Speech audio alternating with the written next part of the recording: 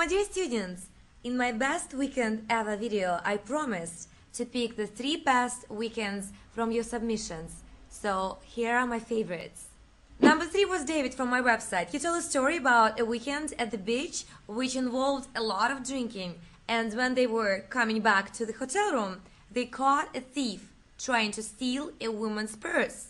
And his friend chased the thief down, caught him, and then she threw up on the thief's head in the process. I mean, how crazy is that?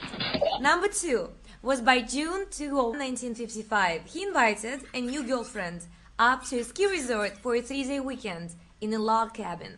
And needless to say, when the weekend was over, neither of them knew how or was ever even interested in skiing. And number one, my favorite weekend story is by Meister7, whose best weekend was when he proposed to his girlfriend. But it started out with him being late for the date. Then a cat puked on her. Then, when he was pulling the ring out, it started to rain, and then she got hit with diarrhea because she ate the ice cream that he bought her, and she was lactose intolerant. And then finally, when he asked her, she couldn't understand him, and she said, What? Huh? But finally said yes. So, by the way, I still feel that my weekend was the best overall.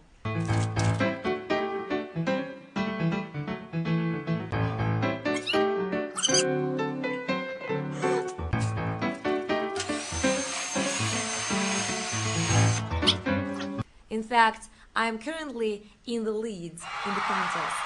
So if you'd like your teacher to win the contest, please vote for me one more time. The link is in the description.